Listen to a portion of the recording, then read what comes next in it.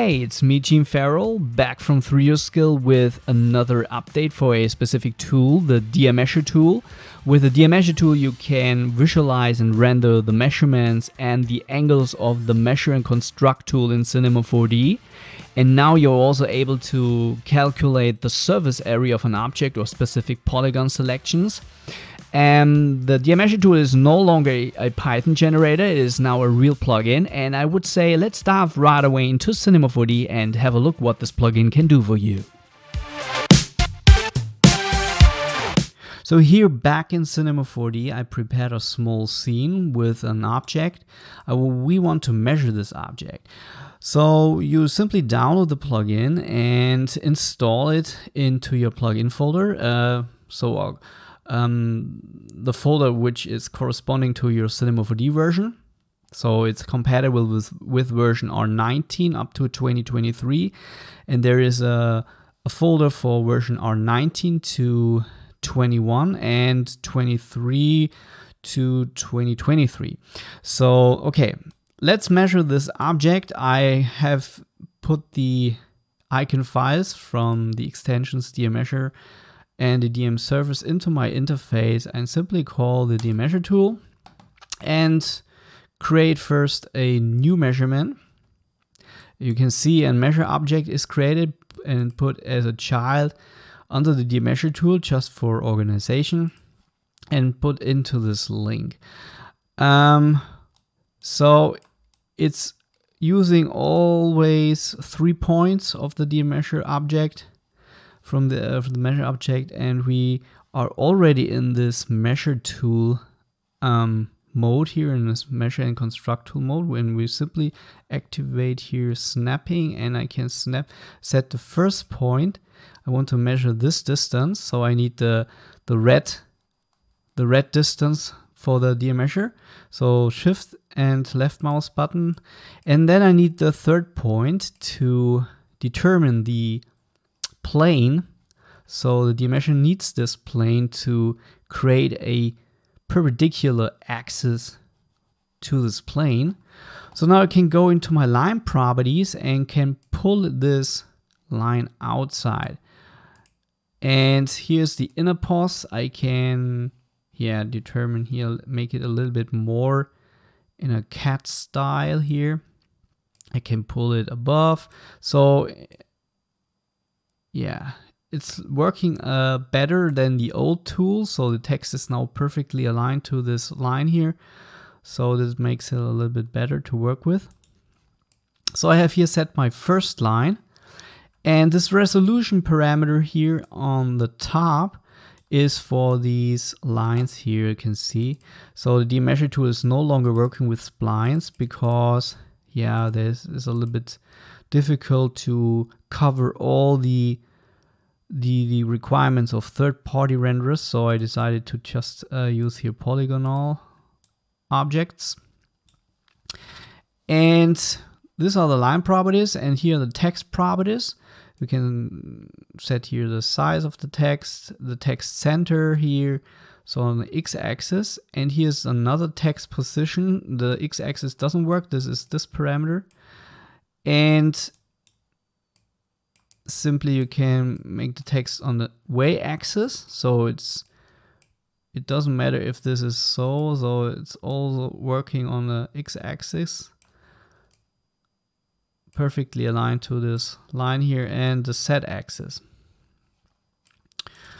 So I'll make it a little bit higher and rotate it 90 degrees or minus 90 degrees better to say and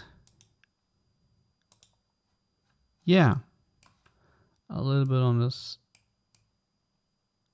uh, on the z axis like this. And now I need also a material for this. And here you can also turn off the units and also determine how much digits you want to have. In this case, it just has one digit. We can say here no digits so it rounds it to yeah and that's cool So we create, I can give it a material here, line material, and also a text, a font material. And yeah, that's it. Now I create another measurement. So for these oblique side, close this, create another measurement. And I'm already here in this mode. So first I go back to my old measurement and hide this measurement. I can hide the measure object so that it's not over this that the scene is not overloaded.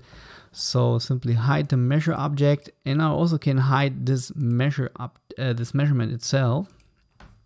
But now I create another measurement for this thing, this side here. I snap it here. I'm already in this tool. I snap it now create here a line and this and here also a third point for the but as you can see it doesn't snap perfectly to this corner so that's the reason why I added this hide measurement so now I can exactly snap it here to this and can bring it back here um, yeah and now I pull out here the other thing here. As you can see here, in this case, it's also perpendicular to this plane here, but in this case, it looks a little bit weird for, yeah, for this uh, visualization. So I use here now the world align thing. So it uses the world coordinates. So in this case, I have to uh, drag it on the z uh, x-axis as you can see, it goes straight along the uh, x-axis. And now I have to rotate the text outside. So we have to try it out. Sometimes we have to flip it or sometimes we have to rotate it completely uh, around. So we have to try it. And also on the Z axis a little bit outside. As you can see, if you create more than one measurement, so you have to drag for every me measurement the material inside. This is a little bit uncomfortable. So that's the reason why this use global materials comes into the game. So check the use global materials in every measure object is now, uh, a measurement is now using the global materials. So I can drag it for the lines. As you can see now, they are using now the global materials.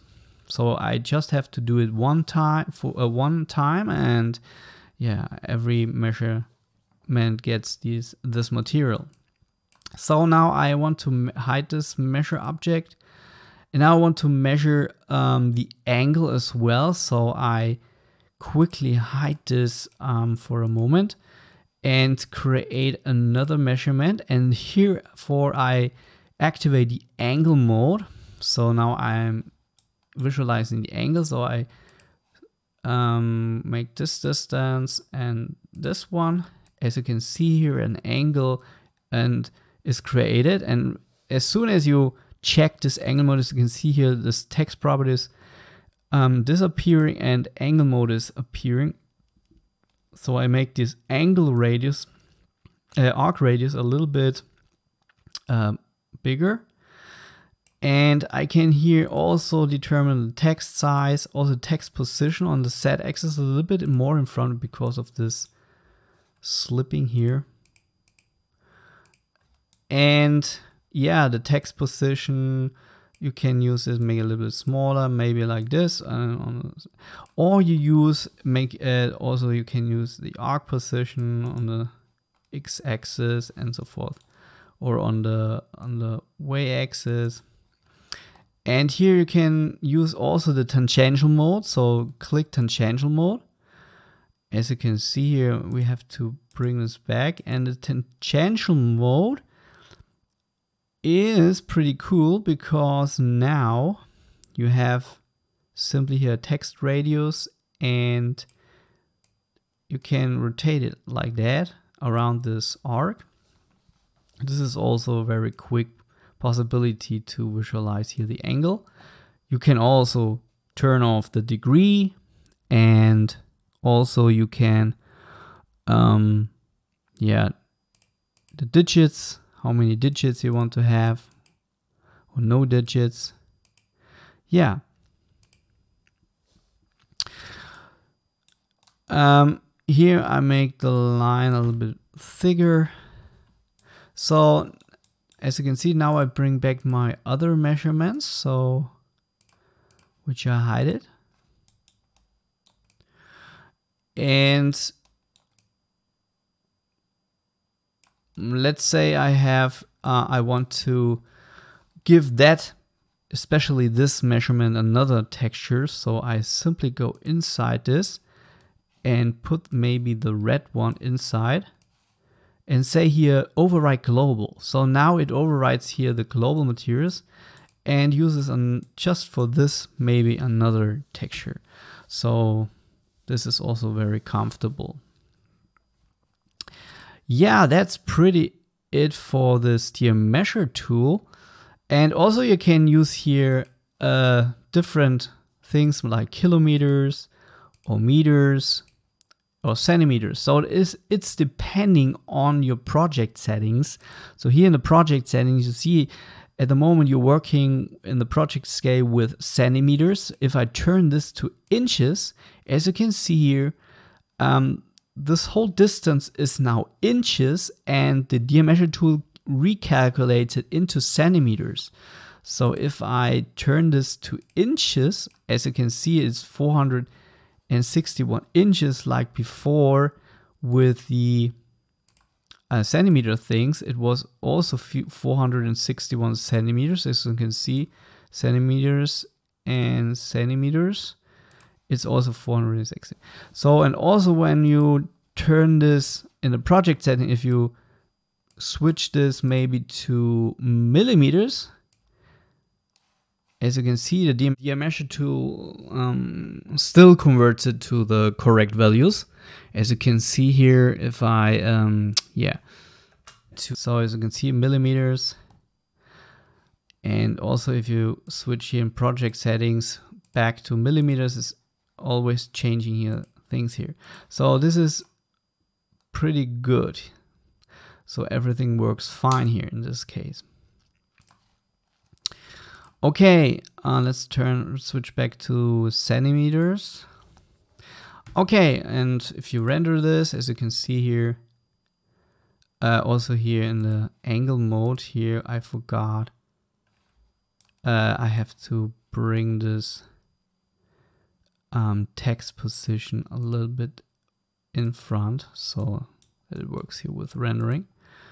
Yeah, looks pretty cool.